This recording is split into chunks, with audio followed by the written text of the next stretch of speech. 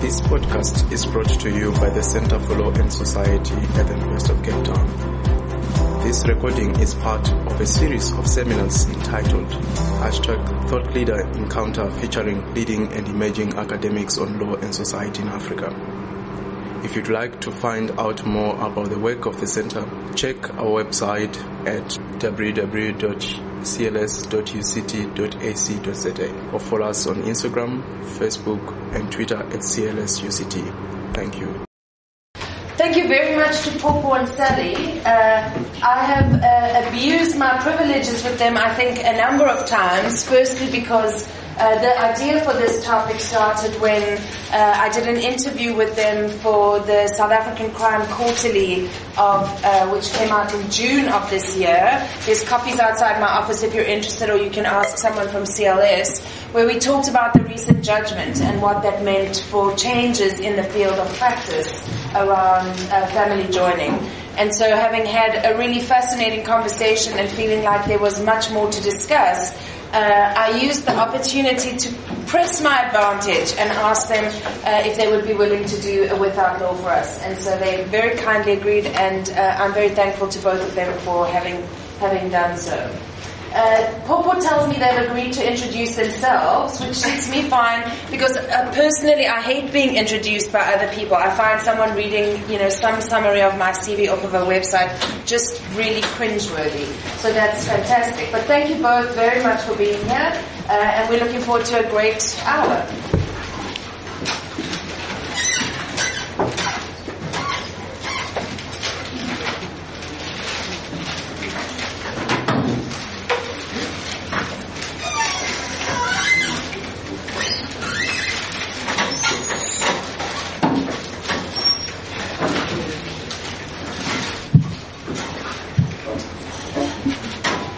Okay. Good afternoon, everyone. Okay. Just before I start, I just wanted to ask, does anyone know who a refugee is? What qualifies a person to be a refugee in South Africa? And the person giving the answer can't be a refugee themselves because I can, I, I recognize a couple of them in the audience. Can they do this now? No one from UNHCR because that would be cheating.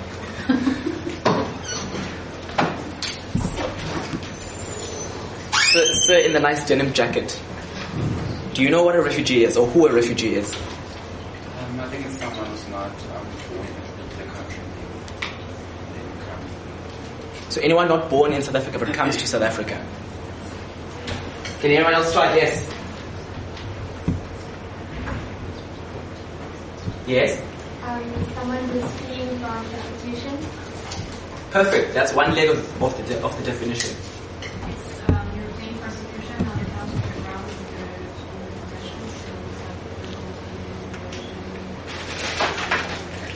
so Perfect. Okay. We will use these terms interchangeably quite a lot during during our presentation, so it's good that we do a very quick introduction about what an asylum seeker is and what a refugee is. So basically, an asylum seeker is a person who has come to South Africa to seek asylum. Right? They're in the process of seeking asylum. Their claim for asylum hasn't been adjudicated yet by the Department of Home Affairs. And a person who is a refugee, referred to as a formal refugee, is someone who has been recognized as a refugee. It means that Home Affairs has interviewed them and based upon these two separate grounds, they've come to a conclusion that there is someone who's left their country because of persecution based on one of the listed grounds, or they are someone who's fled their country because of the events that is stemming from public order. War is an example of one of them. Okay. Okay. So if you look at the numbers, I always like to say there's two very important challenges that are facing humankind. The first one is climate change, and the next is forced migration. The number of people who require international protection has not been improving, has not been going down over the years, it has been getting worse. 70 million people are requiring international protection. And if you look at those numbers and you distill them within a regional perspective, you will realize that countries that are the most impoverished or that are have the least resources, many of which are in Africa, actually host the largest numbers of refugees. there's an unequal or an unfair distribution of refugees across the continent. And what is often referred to as what's called the accident of geography is that if you are closest to, to the problem, you will host the largest numbers of refugees.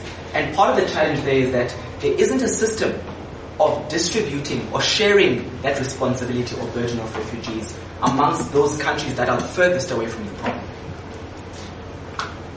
Okay. What has South Africa done? Well, we are both a party to the 1951 Convention and its protocol as well as the 1969 Convention. I'm not going to go into too much detail about what that means, but in a nutshell for you, for your purposes, it means that we have incorporated both definitions of what a refugee or who a refugee is, both in the 1951 Convention and the 1969 Convention. And that's quite important. It's important because ultimately what has happened when we enacted our Refugees Act, our law that domesticates our obligations, is that our Refugees Act is hailed by many jurisdictions across the world as, on paper, being one of the best refugee protection frameworks in the world. The most liberal, the most progressive. Because we not only protect people who flee persecution on one of the listed grounds, but we also provide protection to those who are fleeing uh, war in their countries. Right? And furthermore, many other jurisdictions don't have free movement. So refugees or asylum seekers in South Africa are allowed to move freely about uh, in South Africa without any restriction. But in many countries, there are camps. They are restricted to camps. People may spend 5 to 10, to 15 years sometimes sitting in a camp, unable to integrate into society. And also what's very important with our Refugees Act is that we allow asylum seekers and refugees to, to access socio-economic rights, the right to work, right? The right to, well, on paper, the right to access uh, healthcare. And those that are recognized as refugees can even access social security grants. So in essence, the only thing a refugee can't do or an asylum seeker can't do in South Africa is vote. That's how liberal our our system is. However, the problem lies in the application of the refugee system.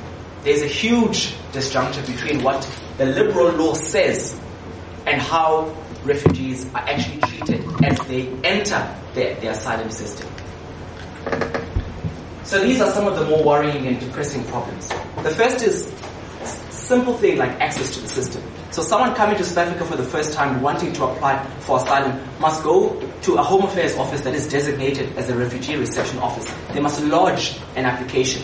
Once they lodge an application, they'll be issued with a, a, Section 22 permit. It's an asylum seeker permit. It's got their face, it's got their date of birth, and it's got an expiry date on it. It allows them to access socioeconomic rights, allows them to open a bank account, allows them to work while the application is being adjudicated.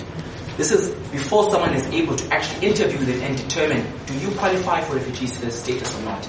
Simply getting into the office is a challenge.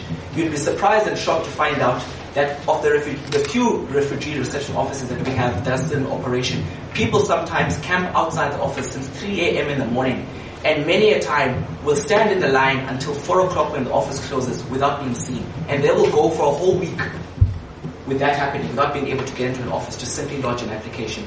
And for, for, for most of us who complain sometimes of having to stand in a very short queue to apply for an ID, it's a hundred times more difficult for people to get into the office. Part of that challenge is because for some reason the Department of Home Affairs made a decision a few years back to close the Cape Town Refugee Reception Office as well as the Port Elizabeth office. Both of those decisions were challenged and they lost. The Cape Town office was ordered by the Supreme Court of Appeal to open last year in March, still not open. The Port Elizabeth office was ordered by the Supreme Court of Appeal to open by, I think last, uh, I don't know, by 2018 or 2016 if I'm not mistaken, 2015. It only opened last year in October. Yes, it only opened last year in October. So access is a huge problem.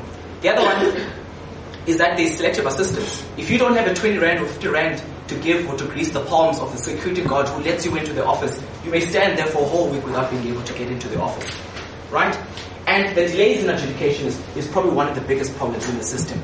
The law says, very, li- very liberal law says, once you lodge an application, that application must be finalized within six months. There are people who've been here since 2000 who've made applications and their applications have not been finalized. That's like writing an exam and waiting 15 years to find out what the decision is.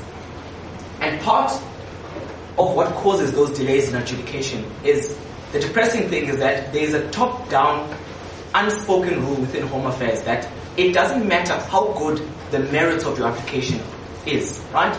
you may be a young man from the eastern part of DRC who is at risk of being forcibly conscripted into one of the many different militias that are operating within the eastern DRC.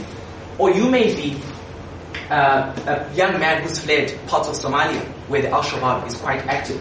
And you come to South Africa and make an application. Your application will be rejected. At the first instance, they always, they've got a 99.9% rejection rate.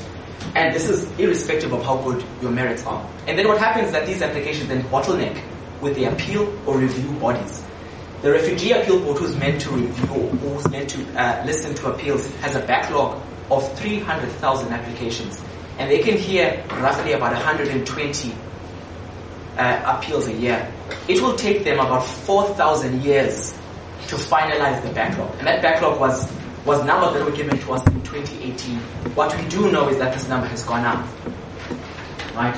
So, what's problematic is that we've got an amazing refugee protection system, but however, Home Affairs or our state has taken the position that they're going to make it, in my opinion, as difficult as they possibly can for people to get into the system, to remain in the system, and to finally get refugee status. That they're hoping people are just going to give up, and some people do give up. So if you look at the number of people who've lodged applications and on their system appears to have abandoned applications, that number is quite high because people a can't even get into the office to renew their permit, right? Or if they can get into the office to renew their permit, someone asks them for a bribe, or when they've given a version of their story which is honest and truthful, qualify for them for refugee status, they are rejected nonetheless. And this causes huge problems because we have what the world would view as an amazing refugee protection system on paper, but the people who are meant to have access to that system are not treated with the requisite respect and decency that they deserve. Okay. The theme for many of the uh, CLS conferences and workshops that I've attended is that ultimately what matters is that the law, irrespective of how sometimes it's not implemented as well, it matters. At least having a framework that is in place matters because there are many jurisdictions that don't, that don't, that don't have a refugee protection framework. Right? That doesn't spell out exactly what the rights and responsibilities the state has towards refugees. So having the law exists and we as civil society activists and lawyers working in this space have been able to use the law to fight for the rights of refugees and to defend refugees uh, in instances where we feel that the state is narrowing the space, which is always not easy. And I think part of Sally's uh, presentation is going to be showing you that if you go through all of those hurdles of finally getting that permit, what are the challenges in being able to access those social economic rights that are due to you that this document alleges that you're entitled to? So having law um, that is liberal and progressive has allowed us to slowly and gradually develop refugee protection in South Africa, despite all of the challenges, because refugee law is something that is fairly popular in South Africa, even though we enacted the Act in 1998, but the content and scope of rights, how far do rights extend, is something that civil society has slowly and, de- and, and deliberately um, developed through our jurisprudence and through our courts. And but the difficult part there is that our courts are starting to show strain because a lot of these matters, the courts are being more and more being pulled into this very political and polycentric space, which makes them uncomfortable, where they have to make these far-reaching judgments around the content and scope of these rights. So far, it has been good because the law exists, but we're now moving in a very, very terrible direction. So Home Affairs has realized, okay, these, these cheeky smart lawyers are using this very liberal law to uphold and to protect the rights that exist anyways because we don't implement the law correctly. So what they've simply done is that since 2008, they've started to introduce some very terrible amendments to the Refugees Act, which aim to erode at the content and scope of the rights. I think that discussion is probably well beyond the scope of this presentation, but if it does come up during our discussion phase, I'm more than happy to take you through what some of those amendments are. One of them uh, most worryingly, is the automated right to work. So Home Affairs intends to take that right away without any kind of clear policy as to how they're going to take care of asylum seekers and refugees if you take away their right to work. They want to have it on a case-by-case basis where they allow them the freedom to work. So if people can't work, it means they can't be self-sufficient, right? So you then have to have the budget to look after all of their needs. It makes completely no sense. And also they've come up with this idea that they want to build asylum processing centers, which in essence we believe are going to be detention centers, which are closer to the border. So people won't be allowed to leave unless they get special permission to leave. If you house people, you're going to have to look after them. Um, the free movement protocol or the free movement aspect of our of, of our refugee protection system would make sense because if you allow people to move freely throughout uh, society, they can integrate and they can be self-sufficient. And I think part of the, the, the thinking that we've heard from Home Affairs is that well, it's for their own good, it's to protect them, it's to ensure that their needs are provided for. But in our experience, and many studies have shown that asylum seekers and refugees are actually self-sufficient. Many of them are employ South African citizens and many of them run their own businesses. So this whole idea that the, the view or the idea of an asylum seeker or refugee is someone who has their hands out like this is completely incorrect. So the law matters. It's not implemented as well as it should be, but at least there is a floor, a bottom minimum that we can use to advocate for the rights of asylum seekers and refugees. I hope I haven't depressed you too much. There is hope. There are many of us working in this space because it's important for us to be a country that affords people who are seeking asylum, especially in light of our own history where many of our freedom fighters found refuge in many other African countries and were opened and were welcomed with open arms. Now when it is our time to do so, it seems as though we are trying to narrow and close down the refugee space, which to us doesn't make sense. But Home Affairs is of the opinion that we're being overrun. Our borders are being overrun by asylum seekers and refugees, which is completely incorrect. The African Center for Migration Studies did a study of the total number of asylum seekers and refugees and migrants in general, generally in South Africa. And by their survey their best estimates, they estimate that asylum seekers and refugees and general migrants make up only between 3 and 5% of our entire population. It's, it's a tiny number, which, which has a very, very little significance or impact on access to socio-economic rights of other uh, South African citizens. Where the challenge then is, is that certain asylum seekers and refugees and other general migrants are concentrated in certain parts of the country. Johannesburg is one of them, which makes it appear that we're being overrun. But the numbers simply don't support the position that South Africa is moving in. We don't understand what has informed this new shift, this new paradigm in narrowing and restricting the scope of refugee protection. I'll pause there for now. Thank you.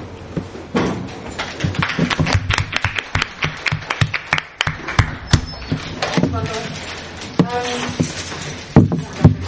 I don't think Popo actually introduced himself, but I'm sure that know um, as an attorney at UCT's Refugee Rights Unit. Um, and my name is Sally Gandar. I'm from Scalabrini Centre, Cape Town.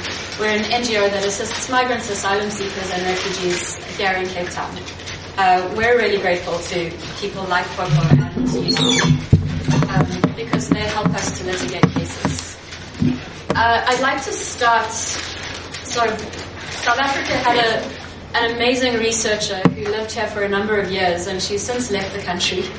Um, and she's just recently written a new um, academic paper. And I just want to start with, with something that, that she says. And it's a description. Outside of migrant process, sorry, outside of a migrant processing area, individuals and families with small children, some of them babies, have set up a makeshift camp. Individuals weaved among sleeping babies, stepping over a Peppa Pig lunchbox, a Moana colouring book, and dwindling stacks of bread and diapers. Fathers doled out powdered milk mixed with water in bottles up to whining toddlers. Mothers strung up underwear on the cyclone fence sides.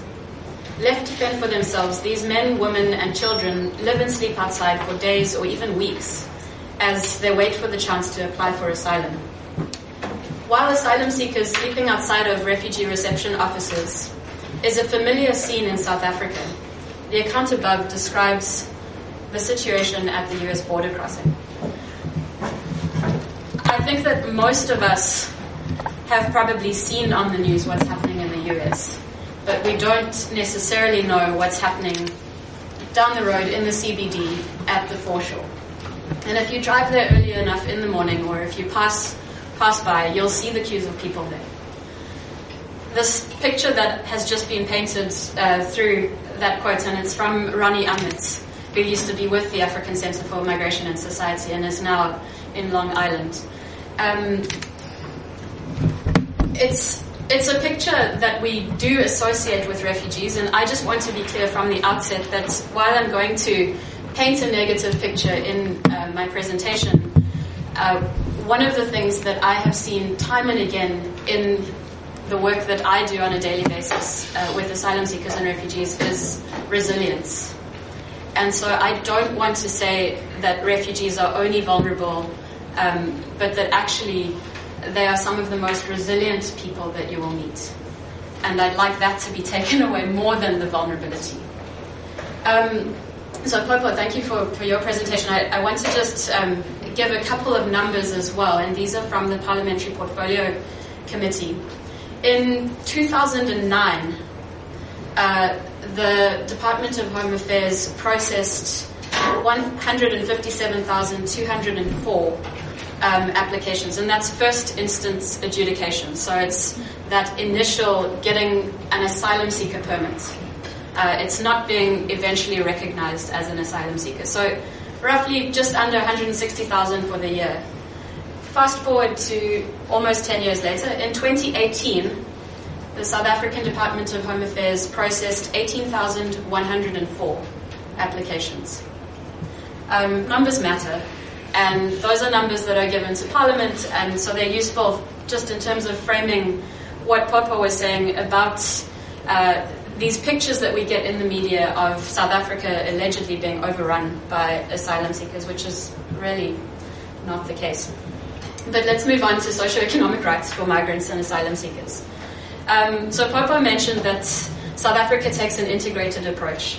And what that means is that we don't have refugee camps. Uh, we we want asylum seekers, or initially when uh, our legislation was framed, it was framed in terms of the constitutional rights uh, and freedoms, including the freedom of movement, uh, including access to health and social services. And the integration approach is one that seeks to ensure that refugees are able to live meaningful lives and make meaningful contributions to their host country while being afforded protection by that host country. Um, for asylum seekers, so those people who have not yet been recognized as refugees, they have access to our Bill of Rights. Refugees also have access. And I would put you on the spot like Popo did in terms of definitions. Um, if, if anyone knows where or how someone has access to those rights, can you put up your hand? And I forgive you if you don't. No one? Maybe James, but that's cheating, James. okay, so um, the Bill of Rights in Section 7 uh, enshrines the rights uh, that are in that uh, Bill of Rights to everyone. Okay, and you, if you if you go through the various rights in the Bill of Rights, some of them say everyone. The right to vote says citizens. So uh, it's you can see which rights are given to all persons in the country, regardless of their nationality. For refugees, it's not only through Section 7, but also through Section 27 of the Refugees Act, which reaffirms that persons recognized as persons in need of protection, so refugees, um, have access to all the rights in Chapter 2 of our Constitution. Um, and there was also a court case about this. Uh, I've framed my um, my talk kind of linking it to cases because we're on the law campus. But um, yeah, if uh, if they're useful, then please write them down. But if not, um, sorry for being overly legal. Uh, so Tantoush, uh, which is T-A-N-T-O-U-S-H, versus the Refugee Appeals Board, uh, said, within our constitutional dispensation, the Bill of Rights is applicable equally to foreigners and hence asylum seekers, as it is to citizens. So access to all the rights in the Bill of Rights that are given to everyone is, is available to asylum seekers and to refugees. Um, but let's, let's look at what that really means, right? So we've got the right to work. Um, once you're recognized, you'd be able to go and seek employment. If you have an asylum permit, you're also able to seek employment. That wasn't always the case. Um, it was a hard won right uh, through the case of Watchenuka. Um, and Mrs. Watchenuka was, was from Zimbabwe. She had um, a child who I believe was uh, a child, a person with disabilities. And she was in the asylum uh, kind of queue, as it were, waiting for her asylum application to be processed. And back then, it wasn't clear whether you could work or study as an asylum seeker. It was a decision that was um, the Standing Committee for Refugees had to make for applications. And um, her case was taken on and it was litigated. And um, what the court said, I think, is, is really beautiful. Um, and I'm just going to find my quote here. Uh, sorry about this. Okay. The judgment states the inherent dignity of all people is one of the foundational values of the Bill of Rights. It constitutes the basis and the inspiration for the recognition that is given to other more specific protections that are afforded by the Bill of Rights. The freedom to engage in productive work, even where that is not required in order to survive, is an important component of human dignity, for mankind is preeminently a social species with an instinct for meaningful association. Um, the reason that I love that quote is because it recognizes that being a productive member of society is something that is intrinsic to all of us as human beings, whether you have fed your country or not. And so work is not just about surviving. Now, one of the practical barriers that we see in the asylum system, to come here because it feels like you're all very far away, is um, so we've got these Section 22 permits that Popo spoke about. And does anyone here know how long they're renewed for? I think you must know this, Like uh, one, three, or six months? Yes. Okay. So one, three, or six months. Uh, that means that, and Popo mentioned uh, the refugee reception offices. There's one in Musina, there's one in Pretoria, there's one in Durban, there's one in PE, and there's the shell of one here in Cape Town. Okay, but um, in order to continue to renew your permit, you would have to either travel or you can renew at one of those offices uh, for those time periods that Elizabeth mentioned. So if you're someone that is having to renew for uh, every month, um, it would mean having to take time off work every month. Um, it means having to explain to your employer. So you have to try and explain the system that uh, is irrational to, to an employer. Ask for the leave time and then go every month and stand in a queue from realistically four in the morning until you are um, allowed to renew your asylum permits.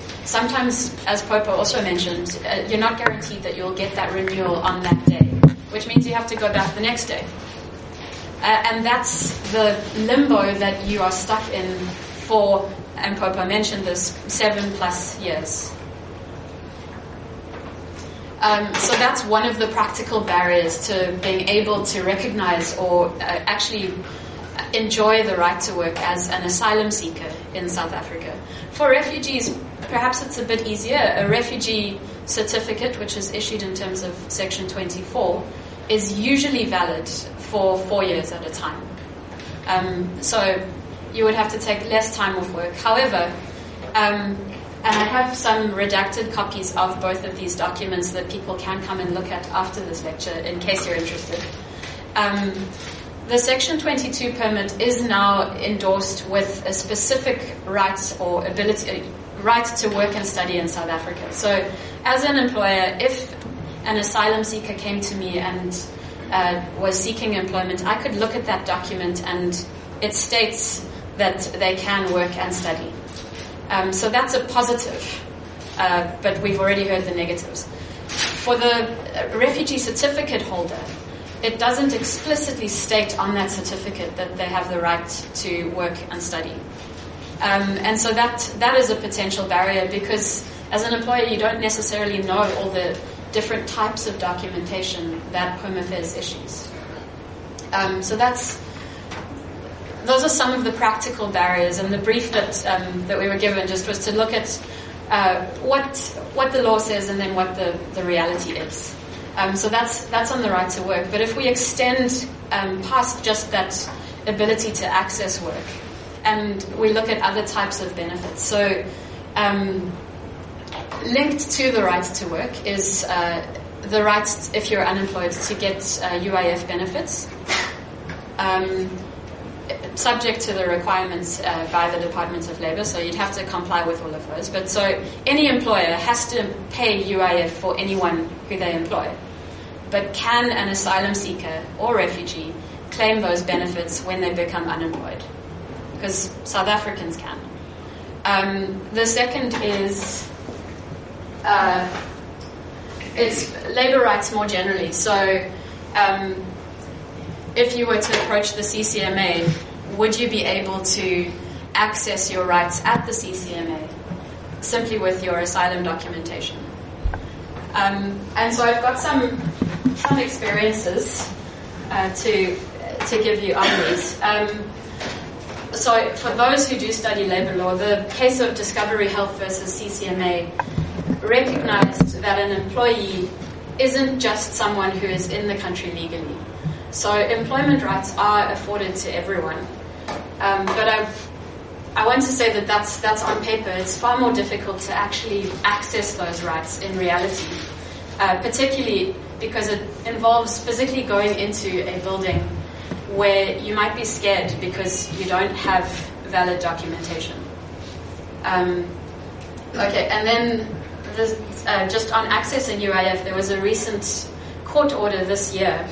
Um, so a practice developed within the Department of Labour where asylum seekers were not able to claim their UIF benefits. So every month, if you're employed, your UIF gets deducted from your your salary, um, and employers have to implement that. Uh, and so a number of asylum seekers tried to claim their UIF benefits at the Department of Labour and were unsuccessful. Um, and a case, well, the, the, court order basically said that uh, what the Department of Labour has to do is it has to recognise that an asylum permit is a legitimate form of identification in South Africa. Um, and that's quite important because that was February this year. But in 2010, in the matter of Consortium of Refugees and Migrants in South Africa versus Absa Bank, um, there was an issue with that document being accepted as a valid form of identification. And that was uh, where asylum seekers had tried to, ac- uh, tried to open bank accounts and they weren't able to. So Home Affairs' own document is not accepted as a valid form of identification by other institutions. And we sometimes hear, and we try and get it in writing when we do hear, that officials from Home Affairs inform those departments not to accept that document. Um, so those are, are some barriers just in terms of labour rights and employment rights. There are other barriers, and I've got some infographics here that you're welcome to come and take afterwards. Um, so there's the right to education if you don't have a valid form of identification or a form of identification that is not necessarily recognized as such, then it's far more difficult for you to register your child at schools. So there's an incredible barrier there for asylum seekers and refugees. Um, if you're born in South Africa, are you a citizen? Does anyone know? I know that if you're born in the US, for example, um, then you, you're a US citizen. But in South Africa, yes. No, that's correct. okay, so um, people live their lives.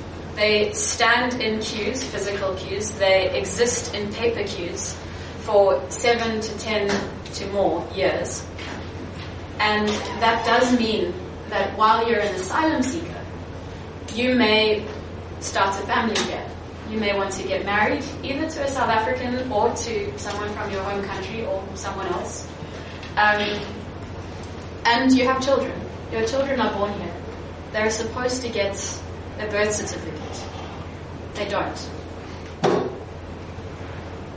So, what Home Affairs does and is doing is, if they do, sometimes they issue a type of birth certificate, but it's handwritten, it's not printed and it doesn't have an identity number on it. And without that identity number, you cannot register on the school system, which is now a computerized system in the Western Cape. It's also computerized in Gauteng.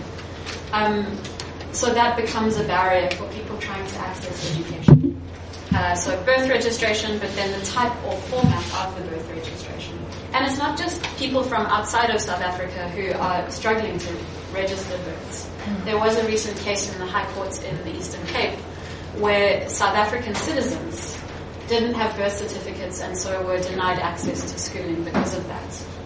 Um, so there's birth registration, and then uh, the last one that I want to talk about today, and it's something that is becoming a bigger conversation um, because of recent legislative proposals, is uh, accessing healthcare. How many people in this room have been to a public hospital? okay. Uh, a public hospital here in the Western Cape?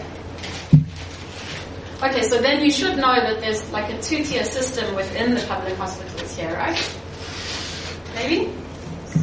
Okay, so there's city clinics and there's the uh, the provincial clinics. Um, I only learned about this recently, and um, it's it's quite confusing to figure out which one you need to go to. The same applies in terms of like when you walk into a public hospital. Uh, sometimes you are asked for your identity document, your proof of address, etc., etc. Now, if you go to what the law says, um, they should trust just your spoken word, but they don't, or they do if you're South African.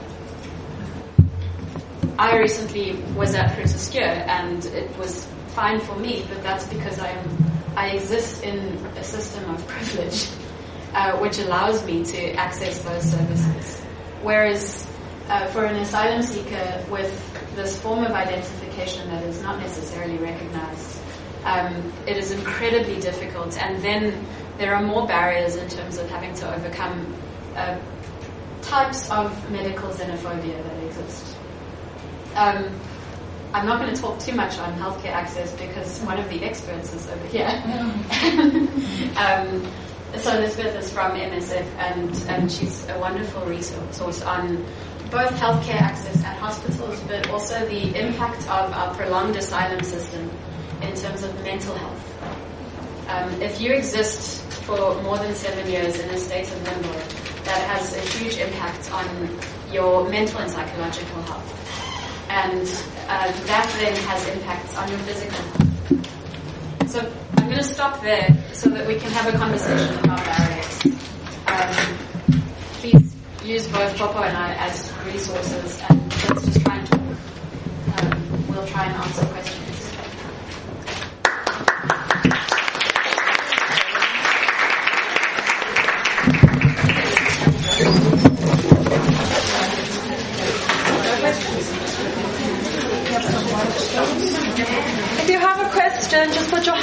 We'll come round to the microphone.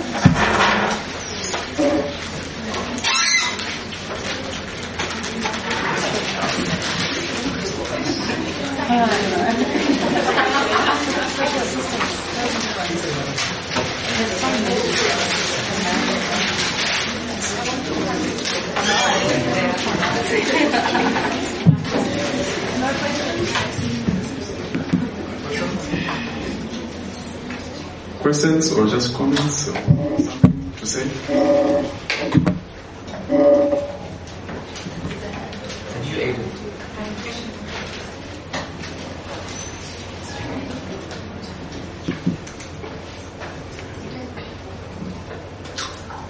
Thank you for all, all this uh, uh, brief you gave to us. Uh, it's incredible. And uh, again, uh, and the UCT should be doing a great job in terms of uh, helping the refugees. Sorry, uh, my name is James Pondo. I am from uh, Buchanan Refugees Community. Uh, you represent the Rwandan uh, refugees community living in Cape Town as well. So as a refugee, I know all these things you've explained to us. Uh, it will never be easy, but as you said it, we have to be decided.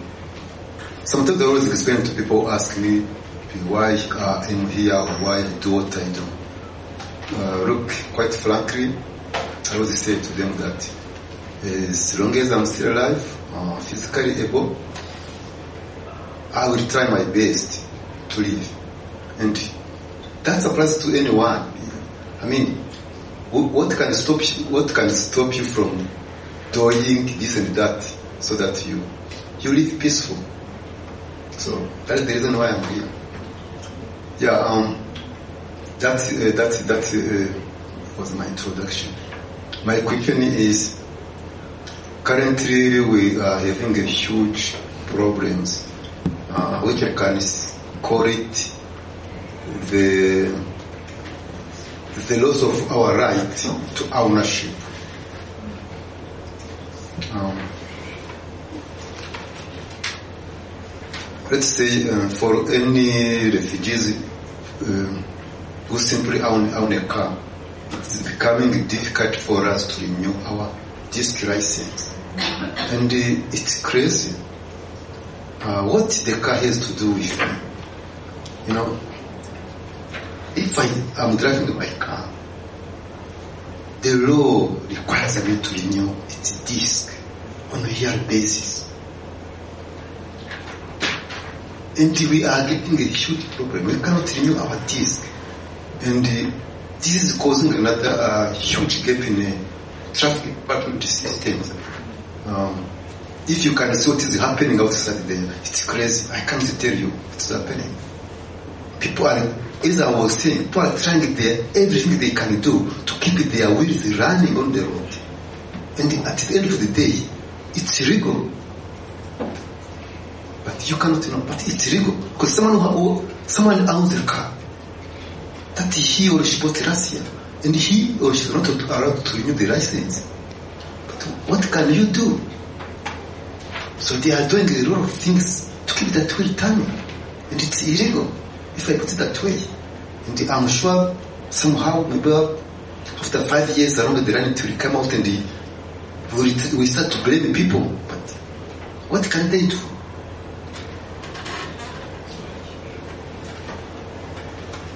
Can, can I respond to that very quickly? Um, James, we're aware of that issue, and I'm going to ask you to please see Nandi afterwards, um, because it is something that both Scalabrini and UCT are tracking, and we do know about it, and we've tried to have meetings with the traffic department already, but we want to hear about your experience um, so that we can try and develop um, so please, please uh, speak to Nandi, um, just so that we can at least get your details, uh, because we are trying to find a solution to that. And just just to add, our we're as baffled and as confused as members of the refugee community are in, in this regard because the document you have is issued by the Department of Home Affairs, but the Department of Traffic says, well, it's not an actual proper figure document. Then then what is it? Because if you get stopped without it, they're gonna detain you. So it just makes no sense why they would suddenly now say they're not going to accept these documents. It makes zero sense whatsoever. But Sally's correctly pointed out, it's something that, if need be, we will litigate on.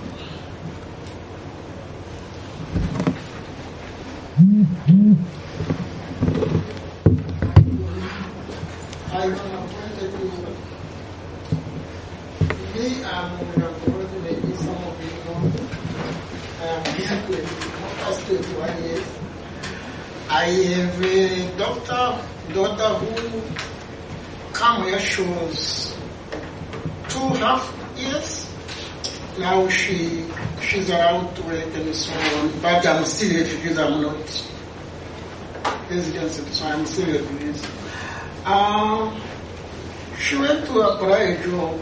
Now she, this maroon ID we get, they tell her your paper is not recognized here.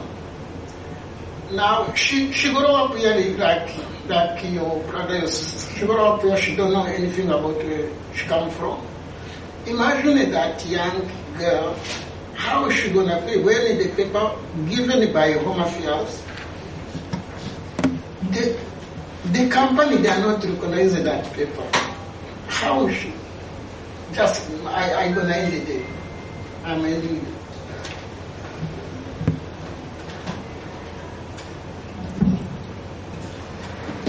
Okay, Jean Claude. Um, I'm going to do something that sometimes frustrates me, but um, it sounds like that's a very specific question uh, related to an individual's experience. And so, um, either of us or the organizations that we work for would be help, uh, happy to assist. We would need to know more details, and this is perhaps not the right place to, to share all the individual details. Um, so you can come. I know that I've seen you at Scalabrini before. Um, you're, you're, welcome to bring that person to either of our organizations so that we can try to follow up and assist. But we would need to know the individual details and um, yeah, let's respect that person's right to privacy about it as well in this forum. Uh, it's, it's individual, but it's my daughter. It's my daughter. It's individual, but it happened to the What I try to say is that mm. all of us know this situation. We know what is going on here. You have, and you as the lawyer of refugees, you have to speak to Home Affairs Department to educate those company employee people, to tell them those paper we get from Home Affairs how it works. And that is what I try to say. Some people they are, uh, some company they accept, another they are not. Means they something missing this. I mean, that's the thing, a, good take home point for us. Uh, I mean, just for context, before I started working at the Refugee Law Clinic many years ago, 2013, whenever it was, I had never seen an asylum seeker permit in my life. I had no idea who a refugee was. And what we do notice and what we see on a daily basis is that I, at least once a week get a call either from a university or a college or an employer or someone wanting to find out, we've got these permits, what are they? Can we employ people? Can they work? Can they open bank accounts? Uh, they've told us they're struggling to extend their permits. Can you clarify what the position is? There is a general lack of understanding amongst society in general, whether it's sometimes government departments themselves or even schools who say, no, no, it's not a permit, go get a work permit, go get a study permit. So people don't know. It might be that we need to intensify and strengthen our own advocacy uh, efforts in trying to get more members of the public to understand who are these people, why are they here, and what permits are they on. It does take time, it does take resources, but it's something important that you've highlighted that we, we will do our best to focus on.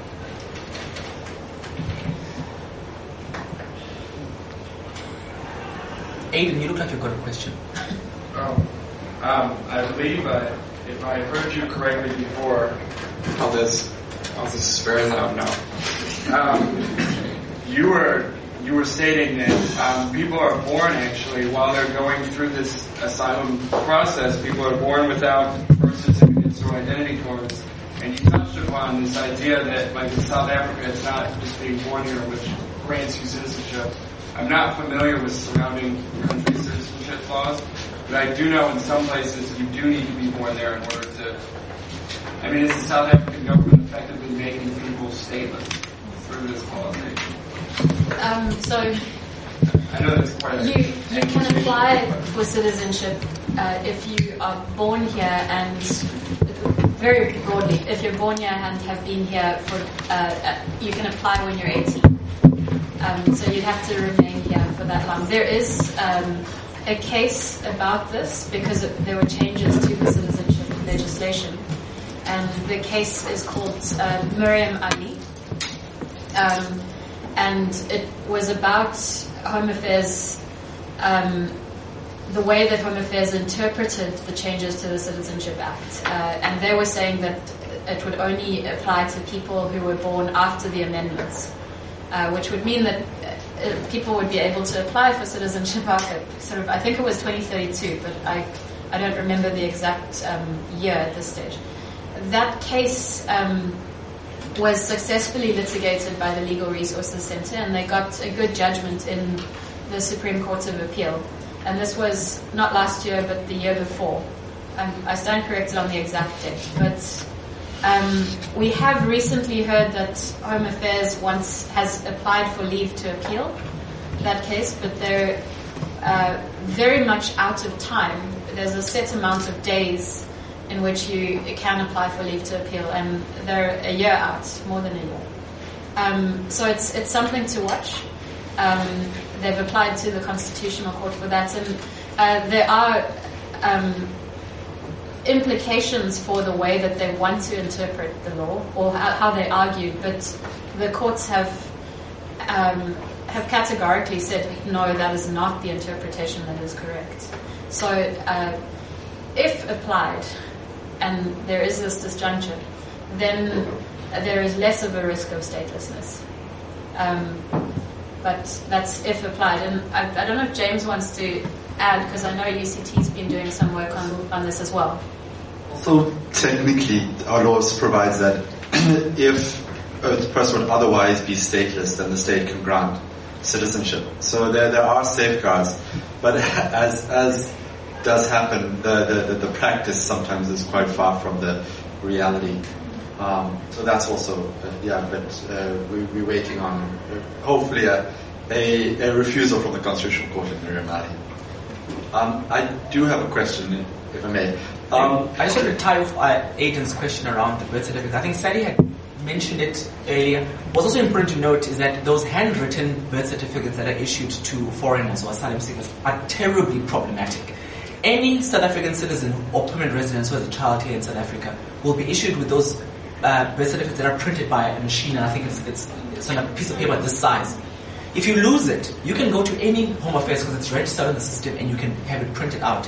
Those handwritten ones, if there's an error on it or if the father wasn't there, their details weren't captured on the birth certificate, you can never add them on. If you lose it, you have to go back to the exact same home affairs where you initially applied for it. Someone has to go look at the folio now, but you still have it and go to a strong room somewhere and find the book, page through the books. So if you applied for it in 2008, it's going to be a mission for the person to go find, and they just never do it. They tell people to go away. So I have no idea why they created this parallel system where they just gave birth certificates that were handwritten to foreigners as opposed to just giving them birth certificates.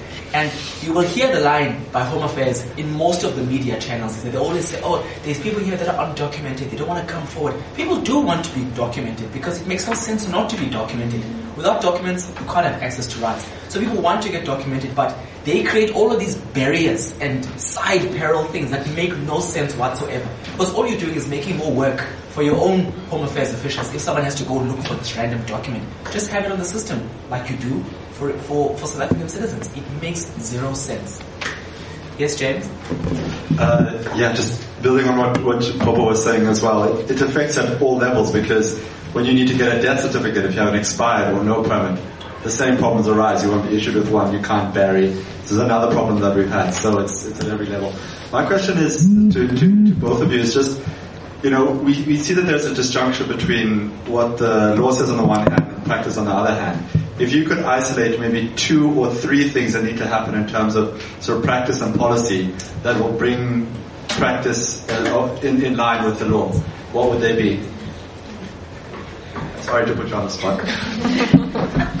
for me, if I, if I just pick one, for me, the biggest challenge in our asylum system is with the quality of the adjudication process and the delays that come with it. So, in essence, what our refugee system is now, it's a lottery. Depending on which office you go to, which official you meet, whether you have the means to grease palms, you may or may not get refugee status. And part of the complaint of Home Affairs is, oh, there's a whole bunch of economic migrants that are, are abusing the system. They're coming in through the system of the asylum system because you don't have to pay to get an asylum seeker permit. And with this lottery system, you can be on here for 12 years before Home Affairs actually interviews you and determines, actually, no, you're an economic migrant, right? If they adjudicated applications fairly, transparently, and those that deserved asylum got asylum within a short, relatively short period, then it wouldn't be this lottery where people take chances and try to get into the system. And you wouldn't have any of these problems where people are in the system for many, many, many years. So create a system that's clear, that's transparent, that's fair, and that's efficient. Then you will solve many of the problems that we have with the refugee system. It starts at that simple level of just having a proper quality adjudicative system.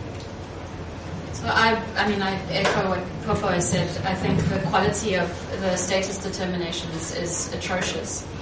Um, I would also look at because that quality would would apply if we if we were magically able to change that. That would apply to people coming into the system now, but we're still stuck with everyone who's already in the system.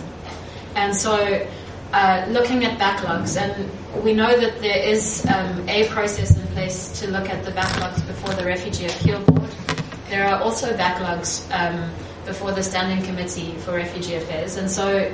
Uh, looking at potential group determinations where that determination would be positive, and there'd probably be a way to isolate um, certain groups that can be positively determined in in those backlogs. I think that that would uh, really assist with uh, with the backlogs at SCRA and at the RAB level, um, and then uh, just implementing the law as it is would be incredible. it's a low bar. Um, so yeah, that would be great. I would also say, and this links to what Popo said about um, the use of the system by people who don't fall within the convention grounds. Um, we're not going to stop migration. We're not going to stop the movement of people in the SADC region uh, and in South Africa. And I think that the sooner that the government realizes that and plans for it, the better. And I mean, South Africa was built on people who are on the move. Um, and that's people who are on the move domestically, but also regionally. Uh, and so I would say that we need to look seriously at a regional SADC low skill migrant visa. Um, it's mentioned in the National Development Plan, uh, one of the white papers, uh, I think, um, and yet there's kind of no movement on it. But that would hopefully take a lot of the stress off the the refugee system because it would reroute a lot of people who might be using the system as an unofficial work permit system.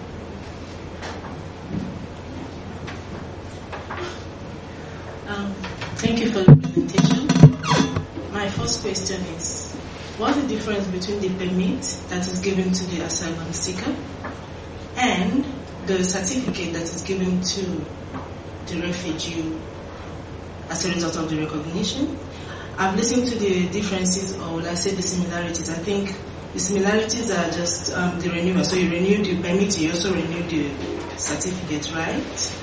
And my second question is, um, can I call it hierarchy or status? So say, as a refugee, you're applying for scholarship, and most scholarship, the conditions are, okay, say 50% for South Africans and permanent resident um, holders, and maybe 25% to temporary resident holders. Um, what is the status of refugees? So are they classified as permanent resident holders, sort of? I'm not sure if you understand. Thank you. Okay. Um, with a refugee certificate, it means that you have been recognized as someone who is in need of protection by the South African government. Um, the asylum seeker permit means that you are still trying to get that recognition. So you are still seeking recognition. That's that's the, the difference just on that. And then there's the time periods. Um, someone who has a refugee certificate, so they're a recognized refugee, they have, in on paper, um, they are entitled to all the same rights as a South African citizen, except the right to vote. Uh, so, for example, if if a recognized refugee were to apply for a social grant, uh, child support grant, old age grant, etc., as long as that refugee has um, a refugee ID, which they would have to apply for, they are entitled, they, they can apply for that grant. And um, the same tests would have to be done as are applied to South African citizens who apply for those grants. Asylum seekers are not allowed to apply for that grant. There's one grant that has that asylum seekers have been successful in applying for in very very specific circumstances, um, and that was in 2008 during um, the xenophobic violence that happened. That that asylum seekers were also able to access grants. or a specific grant, but but for the rest, asylum seekers are um, on their own in terms of getting government assistance, whereas refugees. Um, on paper, are in, entitled to more. One of the things that I, I didn't mention, but which we are seeing, is um, so refugee certificates are supposed to be um, renewed every four years. Uh, we're seeing that some of them are now starting to renew for only a period of six months. When that happens, uh, the certificate holder cannot apply for a refugee ID. And as I said a few moments ago, you need a refugee ID in order to apply for a grant. Um, so there's another barrier that um, I could I could stand here all day and give you barriers, um, but that's that's one that we're identifying. In terms of um, access to, to scholarships, I know that HCI Foundation specifically uh, gives scholarships to refugees, but I agree with you that um, often, and I think maybe it's as a result of not understanding uh, who a refugee is many of the bursaries and scholarships available are not necessarily open to uh, to refugees. Um, it's yeah, perhaps another area where where more advocacy is needed from uh, various refugee organizations, um, which is not the perfect answer for you. What you need to look out for around tertiary education is that what we've been able to do quite successfully this year is lobby and advocate with a number of colleges and university institutions around leveraging the same rate for that they do for South African citizens for refugees as well. Because in some institutions, what used to happen is that refugees used to be charged um, external international rates and had to pay fees up front, which just didn't make any sense because, in essence, what happens when you become a refugee is that that host country envelops you with its protection and the benefits that come with it. So it makes no sense for them to charge you as an international stu- uh, student. So we get a lot of these requests and questions from admin and HR from various places. They ask, should they be charged as, as international students? And the answer that we always give them is no. So if you can't get a bursary, at the very least, they, they need to charge you local rates. Just to follow up, I think also, can you say about when do they go from refugee to permanent resident? Because once you get permanent residence, after a couple of years, you're entitled to at least, in theory, apply for citizenship. Once once you've been a refugee for um, so once you've been recognized as a refugee uh, and received that certificate, uh, once you've been that for five years, you are entitled to apply to the Standing Committee for Refugee Affairs uh, for certification in terms of Section 27C of the Refugees Act. Um, our shorthand for it is Section 27C certification. And what that means is um, you are asking the Standing Committee to recognize that you will remain a refugee indefinitely. The Standing Committee doesn't only have backlogs for reviews, it also has backlogs for Section 27C um, certification applications. And so um, I, I started, I mean, I, I started interning first at um, UCT Refugee Rights Unit when I was a student here. I then went on to work at Legal Resources Center and now I'm at Scalabrini. And in that time, I would say that the number of certifications that I have seen from SCRA is less than 20. Um, so I don't see, or I haven't seen a lot of those, and that's been uh, since kind of 2012, 2013. Um, perhaps Popo may have seen more. Um, I mean, they've, they've gotten better over the years. You used to make an application for certification, which maybe if we take a step back, that whole process to me absurd. It does seem a bit absurd. So you want the standing committee to look at the reasons that go to here and decide and look into a magic ball and say, it, it looks like you're kind of going to be a refugee forever. What they consider, what they look at, what even indefinitely as a time period kind of looks like for them. Are they looking maybe the next two years, next three years? It makes no sense. We made the applications, some of them are successful, but it's really a toss up as to what they really consider as someone, as someone who's going to be in a situation of refugeeism for in an indefinite period. But what that also does, it just makes more work for themselves. Why not just say, if you've been here and you've been a refugee for five or six or seven years, after that seven year period, you automatically qualify to become a permanent resident. Why must you then come back to us and apply and us process this whole new application? It makes zero sense. If you've been here for six, seven years, you, you, sh- you should be given permanent residence. I mean, what, what prospects would you possibly have of going back to your home country and rebuilding a life after you spend so much time here and you have roots here, you've married here, you've got children here? And I do understand the international principle around refugee protection is that it's meant to be temporary. But the, the real world practical realities is that people don't just sit around for seven years and do nothing. They continue on with their lives. And you've got to find a way in terms of what the 1951 convention says is that you've got to allow people to naturalize. They've got to move away from the state of limbo. You don't know when your permit is going to be, is going to be taken away. You don't know when if you're ever going to be um, extended. So you've got to get people out of this psychological limbo that they suffer from and, and let them naturalize. So yes, you can go from an asylum seeker to a refugee to a permanent resident, and if you then hold that permanent residence for five or ten years, you can then become a citizen. But you have to again. I mean, once you get the 27C certification, you have to apply for permanent residence. Yeah. Once you're granted that, then you would have to apply for for naturalization. Um, and just to say, if you are on any other visa regime, let's say you're here on um, a work permit and you're here for the set amount of time, and again, I think it's five years.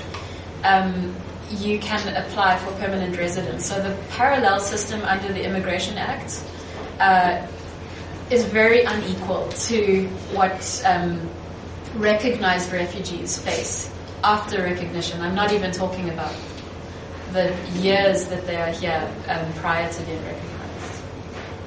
I heard an interesting term recently, which was asylum seeker refugee um, which was used uh, to describe uh, the people in South Africa because of the prolonged status determination process that people are subjected to.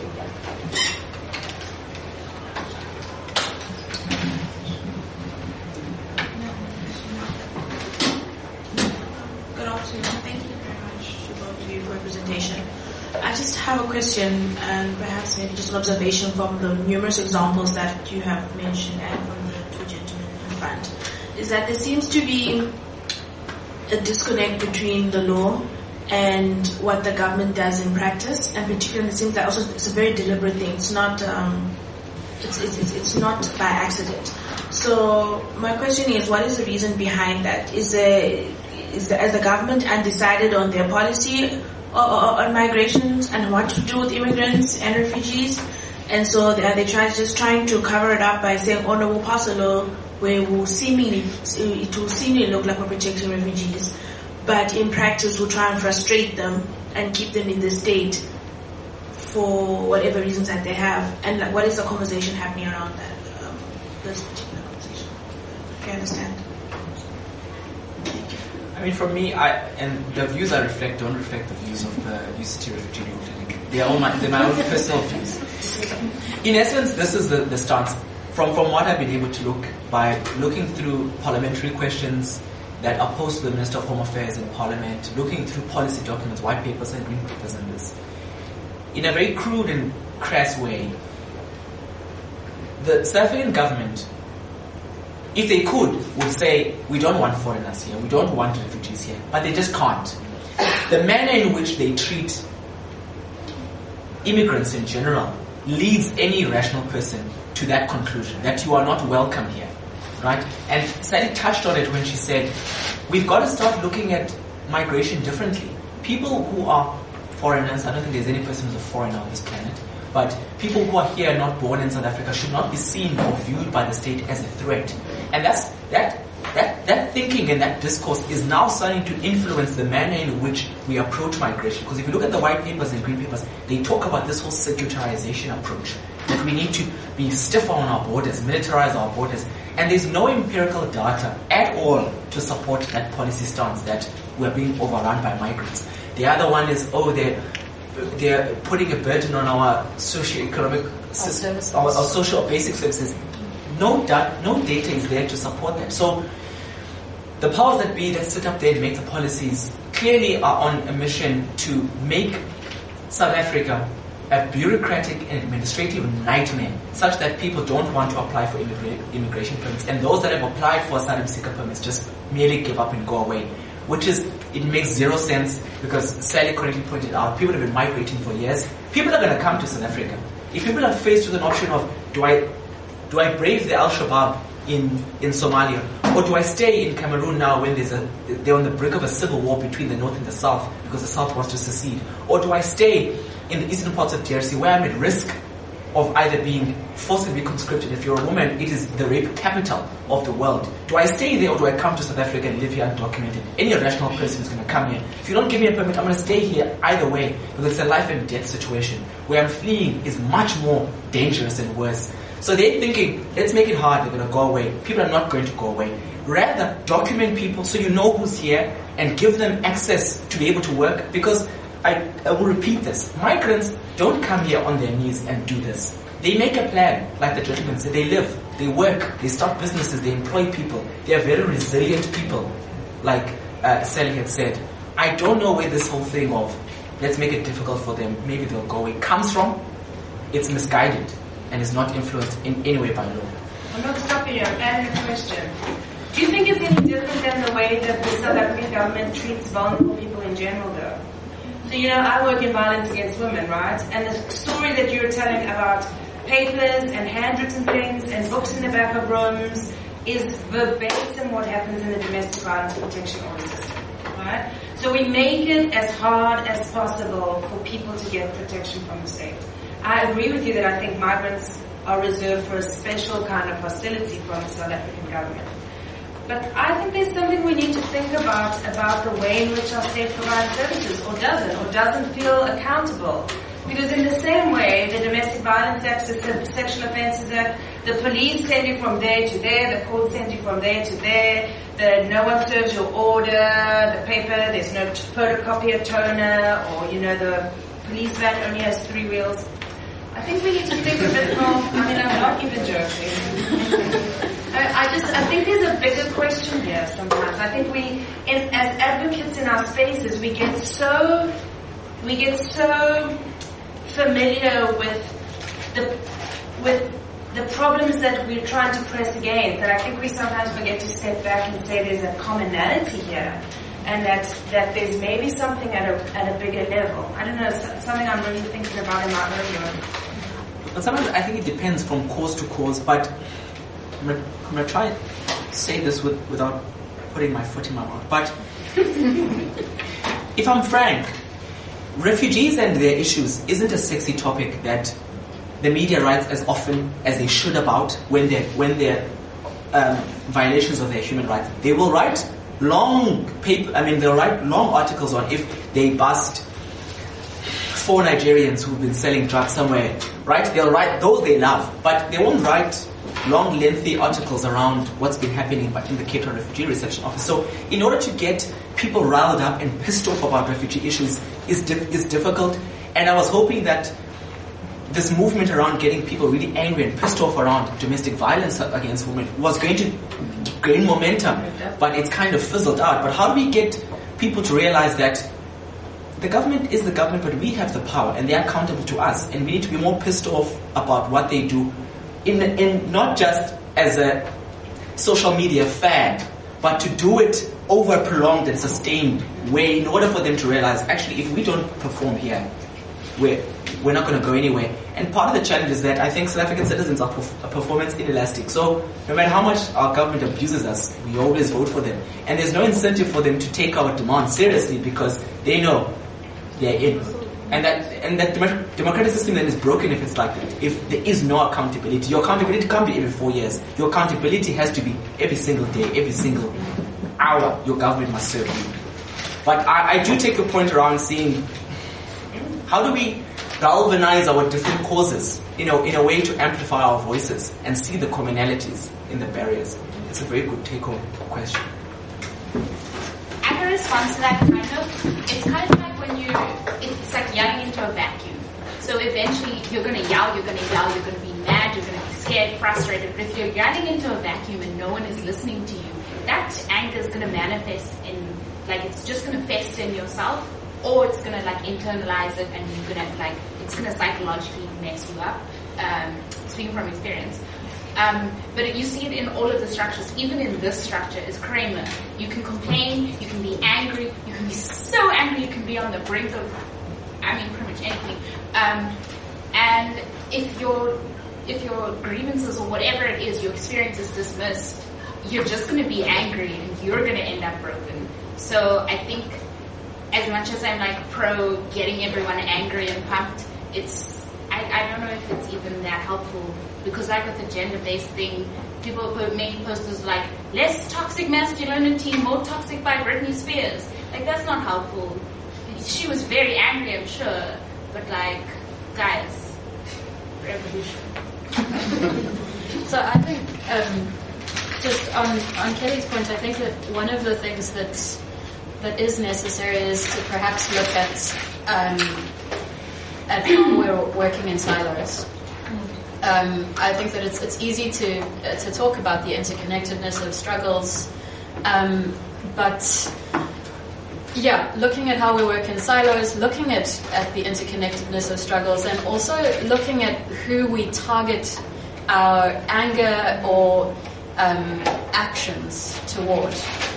And, you know, um, if, if I got angry at the uh, ground level official at the refugee office, it's not going to achieve systemic change. In fact, that ground level official has probably seen 120 people on that day and is tired and probably has to go home and, uh, you know, look after their children or whatever. And so um, I think that finding a strategy to target the right people, not just in terms of who we vote for, but but also just in, ter- uh, in terms of accountability is is really important. And um, I don't have all the answers, but I think that uh, part of the pathway to finding those answers is not working in silos, figuring out strategies for targeting the right people.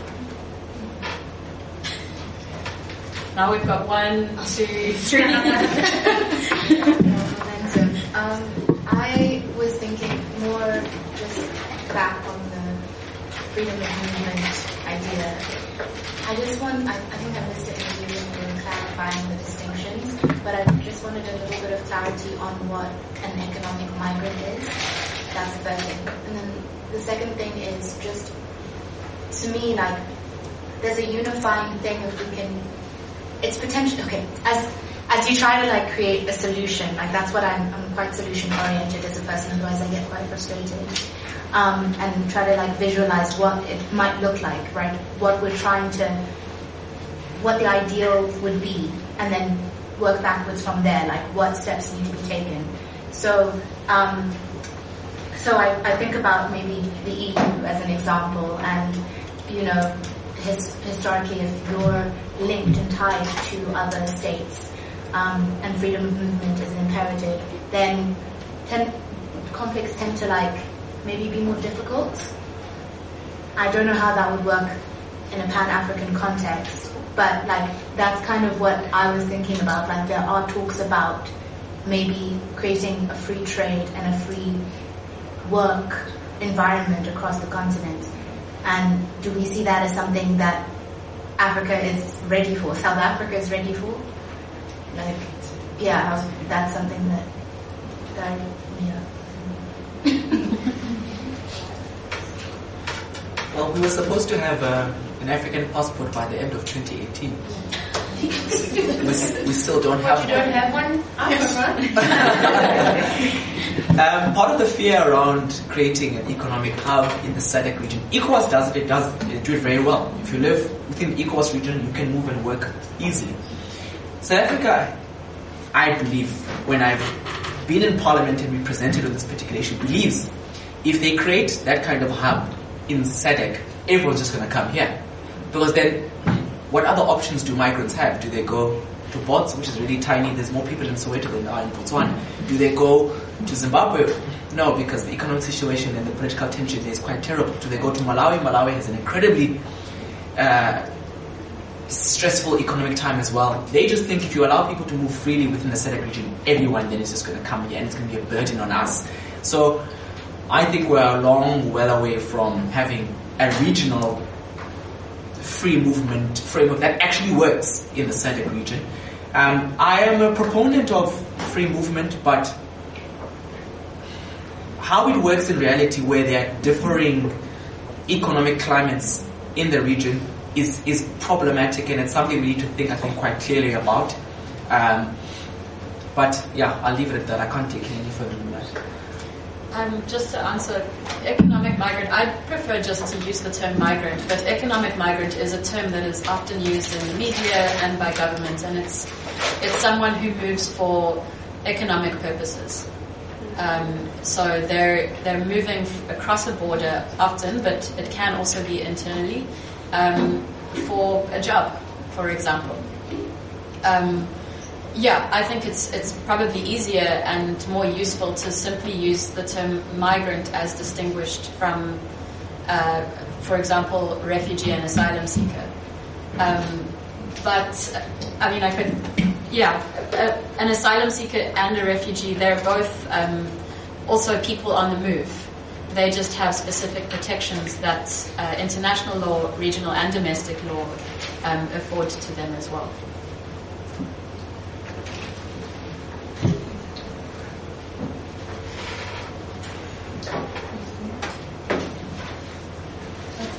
No, it's, it was just it was just two comments, but but I think it was also coming back to the to the work in silos. Like um, if we look at health and mobility, because I work more on health. Yeah, we have the focus for, for migrants, but, but if we really look at the South African healthcare system, then we also see that there's a lot of barriers in terms of internal mobility and getting access to care. So we have to be careful when we advocate, for instance, for you know removing the barriers for international migrants that we that we're conscious of that of that reality that it that is. And I think it's a, it's it's yeah being conscious about it and the way how you then advocate, like taking those messages along rather than alienating maybe of part of the of the population. Uh, yeah. Um, and then, yeah, it was more on accountability um, and, and is it deliberate? I think yes, uh, probably part of it is, is deliberate and to, to, to frustrate people. Um, and and, uh, and that there's policies who are, are de- deliberately making it difficult for people. On the other hand, I think as well, and I've, I had heard that uh, when the law was created, uh, that actually uh, there was not um, the institutions to implement the law were not uh, created in sense or given the capacity and the training. And I think today we still see a lot of that as well. That it's not only the politicians who have probably their agenda, but I think there's also a problem with the institutional capacity and accountability of those institutions, which which also also very harmful. So,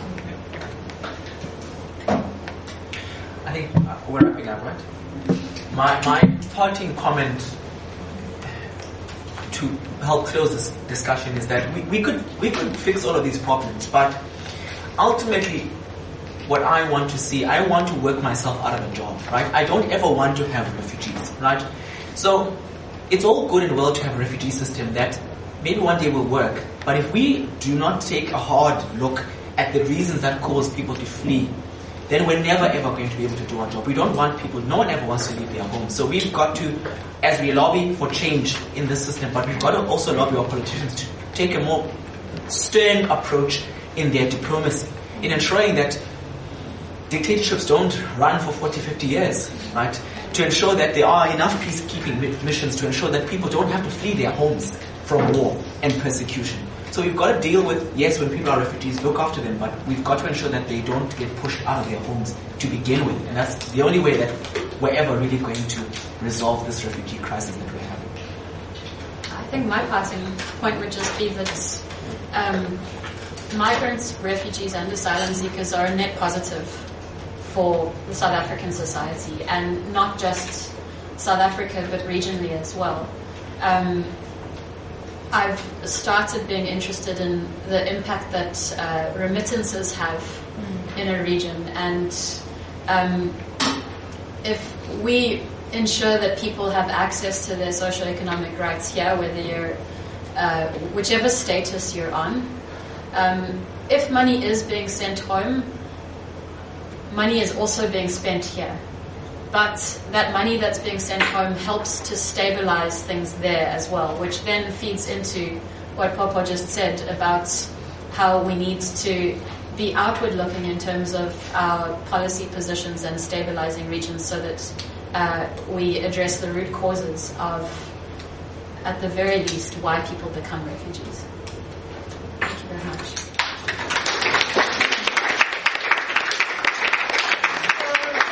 Just a, a quick word from me both Sally and Popo. As always, a wonderful talk that could have probably more appropriately gone on all afternoon. Um, thank you to all of you for coming. And my parting shot is like and follow us on Instagram, which is I hear what all of you know the kids today are doing, and Facebook for all of the older people like me. Uh, that's where you'll hear about our next events. One of which is the Can You Unspeak Lawyer Advice Assembly for next week, which is in the here in the moot court, right?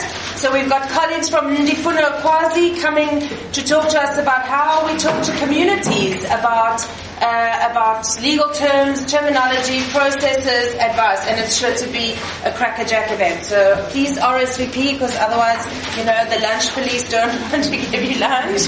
But uh, we hope to see you next week. Thank you.